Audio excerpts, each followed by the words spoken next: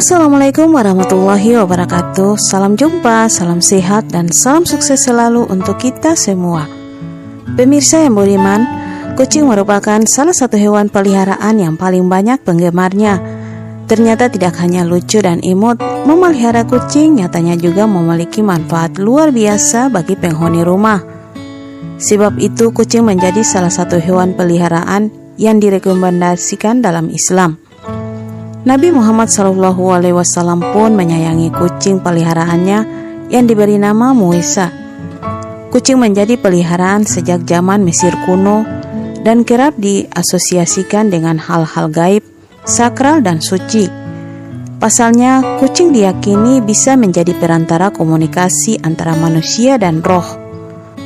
Kucing memiliki kekuatan tersembunyi yang selama ini tidak diketahui orang – yakni kekuatan melindungi dari gangguan makhluk-makhluk halus, ilmu sihir, santet, ilmu-ilmu hitam, dan lain-lain.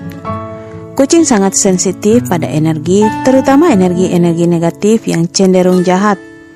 Hal ini karena kucing memiliki energi positif yang sangat besar, sehingga ia mampu menghalau semua gangguan dan energi negatif yang ada di sekitarnya.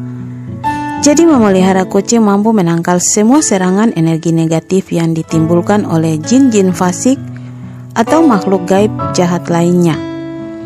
Konon bangsa setan termasuk jin, hantu, gondoruo, ilmu hitam, sihir, santet, dan lain-lain sangat takut dan tidak menyukai kucing. Hal ini seperti yang dialami sebuah keluarga yang baru menempati rumah barunya. Saat mereka melakukan doa syukuran masuk rumah, ada salah satu teman yang kebetulan bisa melihat keberadaan makhluk-makhluk halus di sekitarnya. Katanya rumah ini ada penunggunya, seorang perempuan dengan badan agak besar dan bungkuk. Tapi sang suami tidak terlalu mempercayai cerita teman tersebut dan menganggap angin lalu. Hingga pada suatu malam ketika mereka sedang tertidur di kamar, tiba-tiba pintu kamar didobrak keras hingga terbuka. Padahal di rumah itu tidak ada siapa-siapa, hanya suami istri tersebut saja. Juga tidak ada angin yang menghembus kencang. Mereka yang baru saja alami kejadian aneh dalam hidupnya ini tentu merasa kaget. Walau begitu, kejadian ini hanya sekali saja terjadi. Tak beberapa lama, sepupu suami ikut tinggal di rumah. Si sepupu ini juga pernah bercerita bahwa setiap tidur di ruang tamu, dia suka dilihatin seseorang yang berbaju putih yang mondar-mandir di dapur. Dan beberapa kali juga dia suka melihat asap atau kabut putih di kamar mandi. Si istri yang seharian ditinggal suaminya bekerja, setiap tidur siang selalu alami ketindihan. Padahal sebelum tidur, dia selalu berdoa dan bahkan selama alami tindihan itu, dia selalu berusaha keras membaca ayat-ayat kursi dan surat pendek dalam Al-Quran.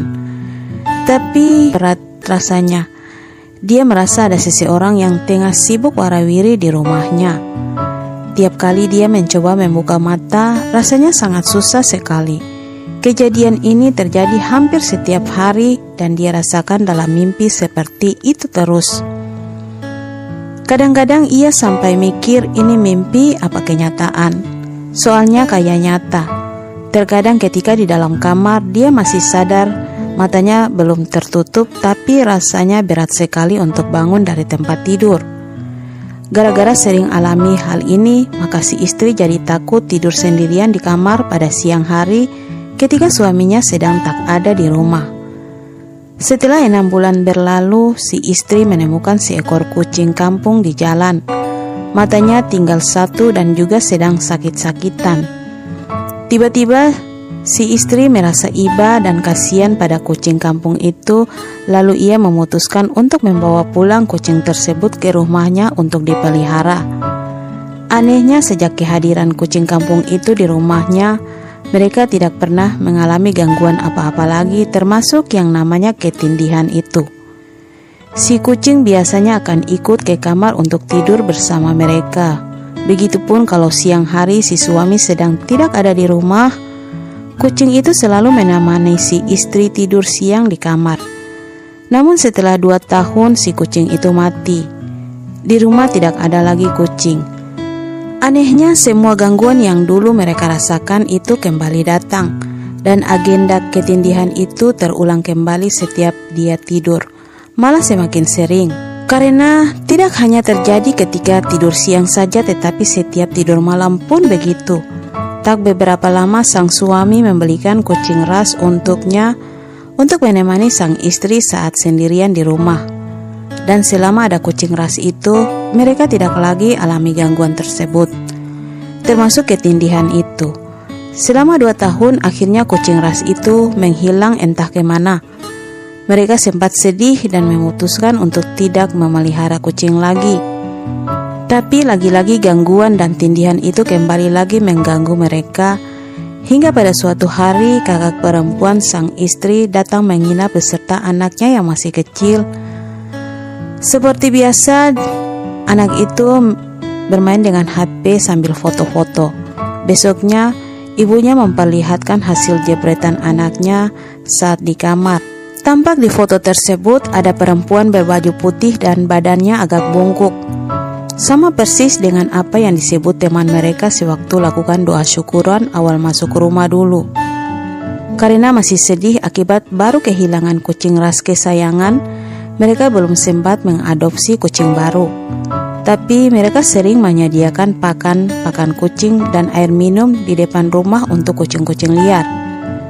Setiap hari ada sekitar 10 kucing liar yang selalu berkunjung untuk makan dan minum. Tiba-tiba ada seekor kucing jantan berwarna abu-abu yang masuk dan mendadak akrab dengan mereka. Kucing itu berusaha mendekati mereka, seolah-olah mau bilang, "Bagaimana kalau aku jadi kucing pengganti untuk pelindung kalian?" Sejak saat itu, si kucing kampung abu-abu itu jadi penghuni rumah mereka, dan mereka pun tidak mengalami gangguan apa-apa lagi, termasuk tindihan yang sering dialami sang istri. Pada suatu siang, sang istri keluar rumah untuk berbelanja. Ketika kembali ke rumah, mendadak punggung dan lehernya terasa berat. Anehnya lagi di kamar itu seperti kecium bau singkong bakar yang menyengat sekali. Kata orang-orang sih kalau ada bau singkong bakar berarti ada kehadiran genderuwo. Padahal kamarnya itu tertutup rapat dan tidak ada ventilasinya kecuali jendela. Lalu dari mana datangnya bau tersebut? Entah kenapa, makin lama pundak si istri terasa berat saja dan kaki mendadak dingin. Tak berapa lama kucing peliharaannya masuk ke kamar dan langsung menghampiri sang majikan perempuannya itu.